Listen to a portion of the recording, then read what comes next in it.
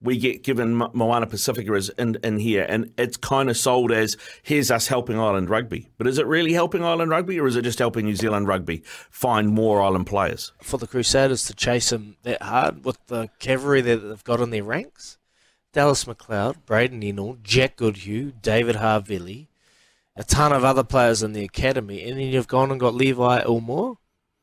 That just makes no sense. Do we have the mm. have, have the depth to keep running five Super Rugby teams in New Zealand and Moana Pasifika?